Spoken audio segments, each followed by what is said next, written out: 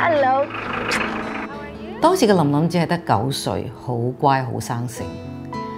可以親眼見到佢，心裏邊覺得好感動。因為我知道呢個係好難得嘅一個機會，我哋嘅關係就係由嗰陣時開始。當時嘅琳琳家境好困難，佢爸爸離開咗屋企，媽咪又好唔容易揾到一份地盤嘅散工。琳琳身為大家姐，佢要照顧細佬妹、做家務、打水、煮飯，一脚踢。由於媽咪收入好少，一家食唔飽、着唔暖，見到佢哋嘅生活咁艱難，我決定要幫佢哋一家。喺助養呢十幾年嚟，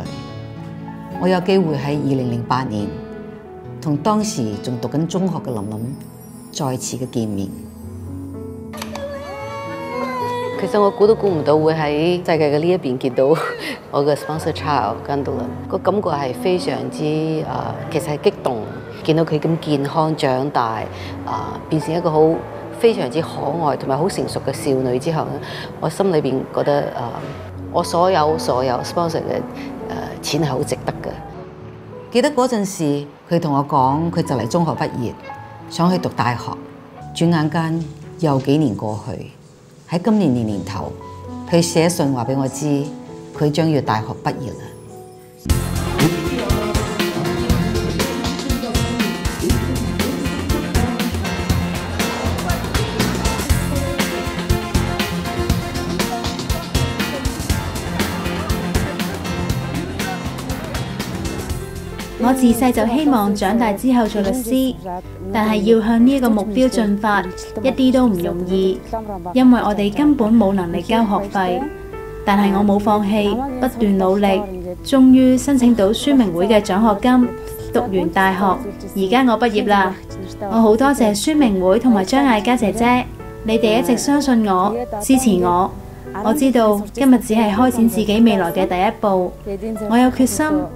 繼續努力達成夢想，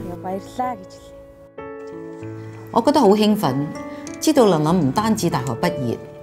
佢屋企人亦因為宣明會喺社區嘅發展工作，生活得到好大嘅改善，全家人都過得好好，我真係感到非常之安慰。雖然我唔可以親自參加佢嘅畢業典禮，不過我真係為佢感到好驕傲，因为佢唔止系我嘅助养儿童。佢等于系我嘅一家人，所以我永远都支持佢，永远都帮佢打气。